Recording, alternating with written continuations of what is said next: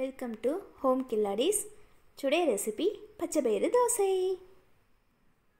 அதுக்கு ஒரு பவுலில் இரநூறு கிராம் பச்சைப்பயிறு எடுத்திருக்கேன். இதை ஒரு எட்டு மணி நேரத்துக்கு முன்னாடியே ஊற வச்சிடணும். நீங்கள் காலையில் தோசை ஊற்றணுன்னா நைட்டு ஊற வச்சா போதுமானதாக இருக்கும். பச்சைப்பயிறு நல்லா நல்லா ஊறிடுச்சு. இதுதான் இரநூறு கிராம் உலக்கு இதில் ஒரு வழக்கு பச்சை பயிறு இதில் பத்து டு பதினஞ்சு தோசை ஊற்றலாம் இதில் அரை உலக்கு பச்சரிசி. பச்சரிசி அரை மணி நேரத்துக்கு முன்னாடி ஊற வச்சா போதுமானதாக இருக்கும்.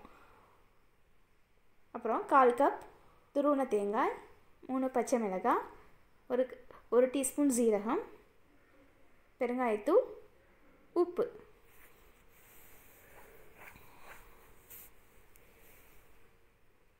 இப்போது ஒரு மிக்சி ஜாரில் இதெல்லாம் மாற்றி வச்சுக்கிறோம். பச்சைப்பயிறு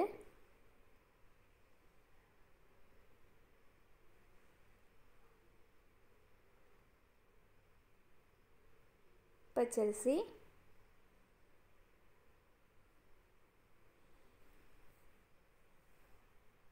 தேங்காய்.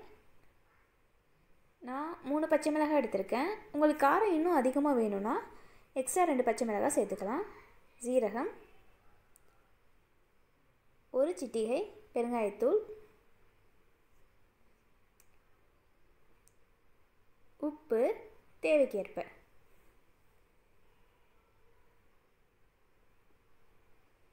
அப்புறம் கொஞ்சமாக தண்ணி சேர்த்துட்டு ஒரு மி மிக்சியில் அரைச்சி எடுத்து வச்சுக்கணும். இதை ரொம்பவும் நைஸாக இல்லாமல் கொர கொரன்னு அரைச்சி வச்சுக்கணும்.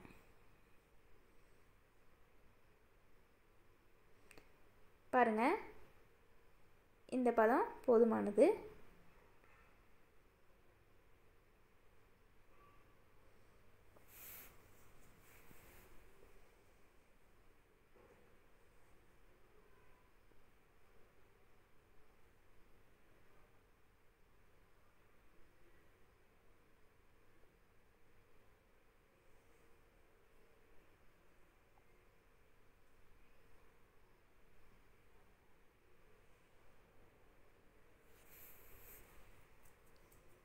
இது புளிக்க வைக்கணும்னு அவசியம் இல்லை. இன்ஸ்டன்ட் பச்சை பயிர் தோசை உடனடியாக ஊற்றிடலாம்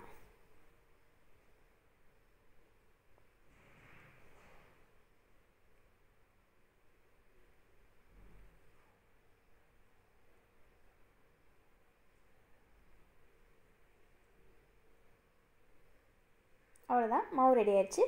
தோசை ஊற்றலாம் வாங்க.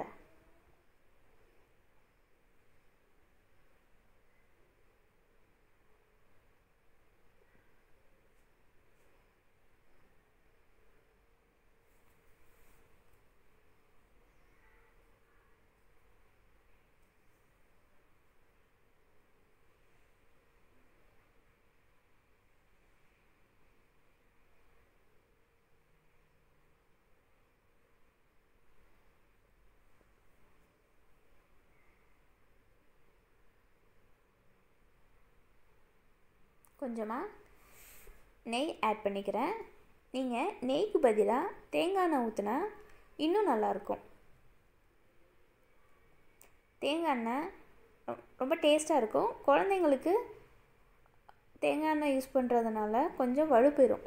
எலும்பெல்லாம் கொஞ்சம் வலுவாக இருக்கும்னு சொல்லுவாங்க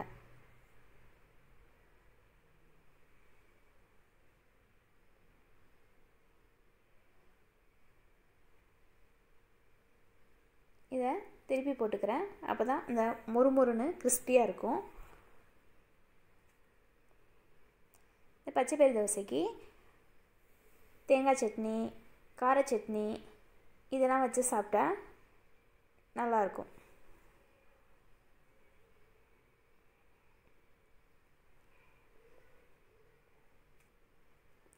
அவ்வளோதான் தோசை ரெடி ஆயிடுச்சு. இந்த இப்போ ஒரு தட்டில் மாற்றிக்கலாம் டன் டன். பச்சை தோசை ரெடி